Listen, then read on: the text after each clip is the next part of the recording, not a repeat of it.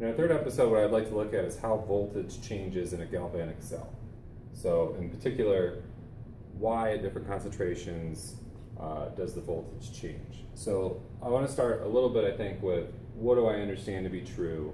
And I want to clarify that I don't want to look at this from a thermodynamics perspective, but rather from a physical perspective. So here's an animation. And in the animation here, we have a silver half cell and a zinc half cell.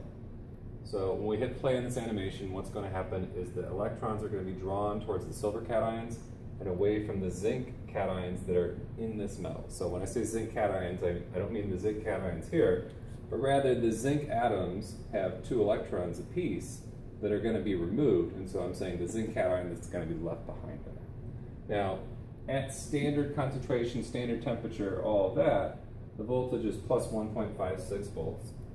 And when we hit play, and we see that the electrons move over here towards the silver. And as the amount of silver ions decreases, what happens is that the voltage starts to change. Uh, and as the zinc ions over here uh, increase in concentration, uh, the voltage starts to change where it starts to drop. So my understanding of this, let's start with volts. So we want to talk about what a voltage is. To me, a voltage is a measurement of how much pull, net pull there is on the electron, and in the following sense. So the voltage allows us to look at the pull on the electron from a comparable perspective regardless of how long the wire is. So the voltage is how much energy gain the electron has as it moves from over here to over here. So in other words, the larger the pull on the silver and the, from the silver cations and the weaker the pull on these zinc cations, the larger potential difference there will be and the greater amount of energy change will occur. Now, if I change the length of the wire, what will happen is I'll still get the same amount of energy change from here to here. It'll just take longer for that to occur. The biggest energy changes, in my head at least, are going to be occurring when the electrons separate from the zinc here and attach to the silver here, although I'm not 100% sure if that's correct. So the voltage is essentially a measure that results uh, from the differential of pull in the electrons. So when we look at the fact that the voltage changes and we make that observation, that makes sense to me because what's happening over here is that I have more and more cations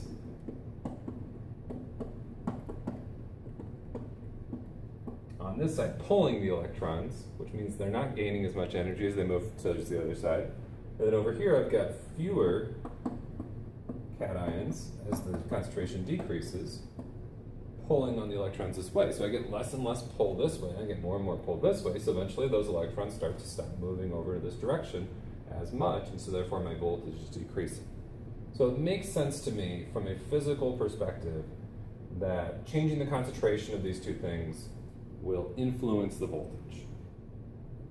But when I dig a little deeper, I start to fall into a couple problems. The first one is, really, these electrons here are leaving specific cations. And so really what I have here is I have a zinc atom with two electrons, and I have a silver cation over here with kind of a spot for an electron, and another silver cation for a spot for an electron. And this electron is moving from here all the way over to here. And so part of me struggles with, why does it matter that there are more cations and fewer cations in these different locations because really the electron is still moving to the same cation. The electron that moved to this moved to a silver cation. The electron that's moving to this one is also moving to the same type of silver cation. So in the sense that the voltage eliminates the need for looking at how long the wire is, why does it matter that these other silvers are fewer in concentration when the electron is moving to this one in particular? This one in particular was the same as this one was.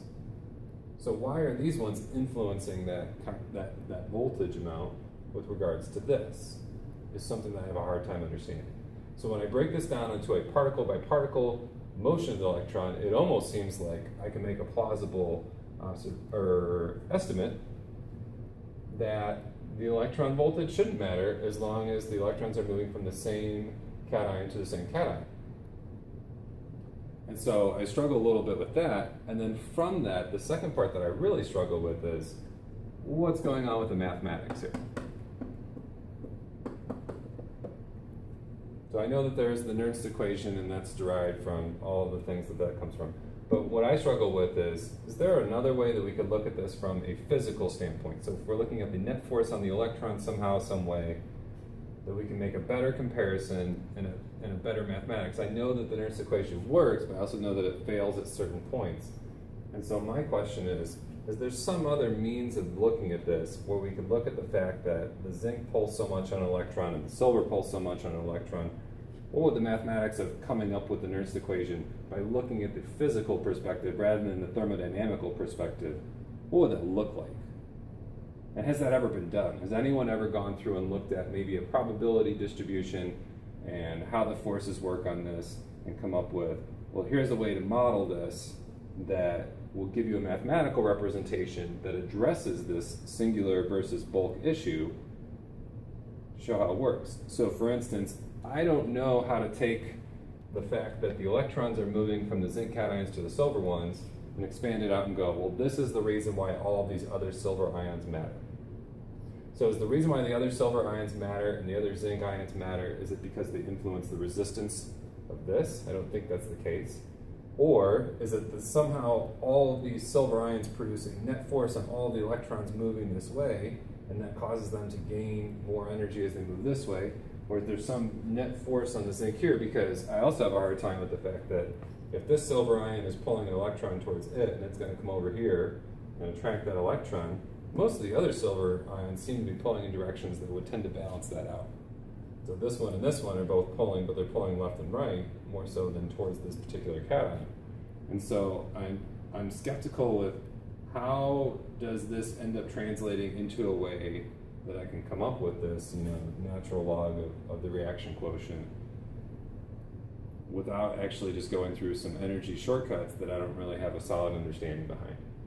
And so I feel like when I look at this that I can't do this without energy, and therefore I don't feel like I have a solid understanding of what's happening.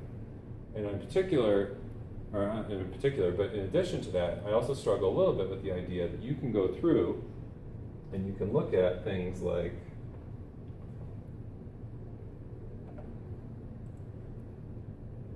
switch into here. So you can look at cells where you have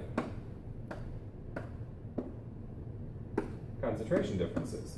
So you can set up, I believe, a metal in a solution, and then the exact same metal in the exact same solution, and connect a wire, connect a cell bridge, and end up with electricity flowing, even though these are both zinc and zinc 2 plus, just by having a concentration difference. So if this is 10 molar and this is 0.001 molar, I can get a current to flow from the one side to the other just by that concentration difference. And that again is something that part of me understands in the sense that we have these these cations pulling, we have more of them on the one side than the other, and so therefore we get a greater pull on the electrons and they move from one side to the other. But I also struggle a little bit with the fact that there's also anions present in here, and there's fewer anions in here, and how does that work? Why do the anions not contribute anything to this? Um, or do they contribute something to it, and it somehow balances out where it doesn't matter, and it's irrelevant? Uh, so those types of things are things that I, I, don't really have a solid grasp on, and I feel like that the underlying issue I have is that we have this equation that's not really clear why it works the way that it works, and it doesn't also align with the way that this whole thing makes sense. So conceptually, it makes sense to me why the voltage changes. Mathematically, I don't have a good understanding that connects to that concept. I have a separate concept being used to give me the explanation behind that concept.